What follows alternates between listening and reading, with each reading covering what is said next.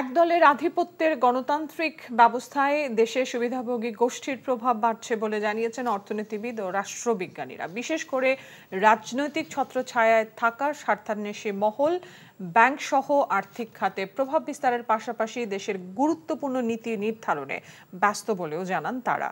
শনিবার দুপুরে ঢাকায় গবেষণা প্রতিষ্ঠান সানেমের আলোচনায় বক্তারা আরও বলেন, রাষ্ট্রযন্ত্রকে ব্যবহার করে ক্ষমতায় টিকে থাকার প্রথা খুব বেশি টেকসই হয় না। হাসানুল শাওনের report South Asian network on economic modelling সানেমের আয়োজনে ঢাকায় চলছে তিন দিনের অর্থনীতিবিদদের বার্ষিক সম্মেলন। যাতে বাংলাদেশে গণতন্ত্র ও উন্নয়ন বিষয়ক এক আলোচনায় অংশ নেন দেশের খ্যাতনামা অর্থনীতিবিদ ও রাষ্ট্রবিজ্ঞানীরা। এ সময় তারা বলেন দেশের রাজনৈতিক দলগুলো তাদের আদর্শ থেকে দূরে সরে গিয়ে ক্ষমতাকেন্দ্রিক রাজনীতিতে বেশি গুরুত্ব দিচ্ছে। সেক্ষেত্রে রাষ্ট্রযন্ত্রের ওপর ক্ষমতাসীনদের নির্ভরতা বাড়ছে বলেও মন্তব্য করেন বক্তারা।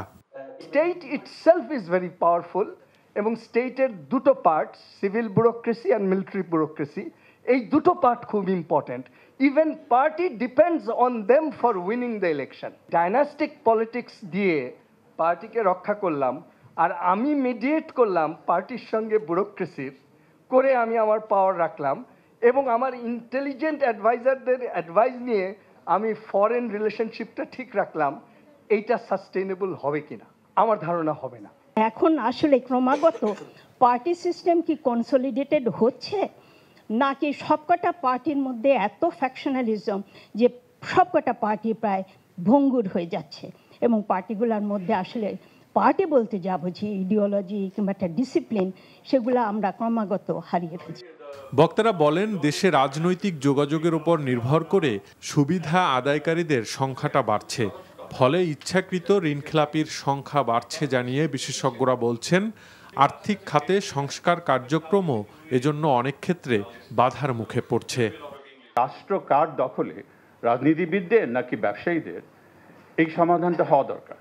না হলে এই যে মেজর রিফর্মসগুলো হবে না গ্রোথ হবে না ফেল করবে। Politics has become a very important instrument for participating in business এখন ব্যবসা করার জন্য রাজনীতিকে অনেক বেশি ব্যবহার করা হচ্ছে। ঋণ নিয়ে ফেরত না দিয়ে খেলাপি হয়ে যাওয়াটা এখন বিজনেস মডেল হয়ে গেছে। সব মিলে দেশের আর্থিক খাতে রাজনৈতিক প্রভাব বেড়েছে। এই পরিস্থিতি একটি দেশের জন্য বেশ ভয়ঙ্কর। Through the public exchequer. জীবিকার সন্ধানে ছুটে চলা দেশের বিশাল সংখ্যক মানুষ নিজেরা সংগঠিত নয় বলে সরকার তাদের উপর অনেক বিষয় চাপিয়ে দিতে পারছে বলেও মন্তব্য করেন আলোচনার বক্তারা। Hasanul Shawon NTV news Dhaka.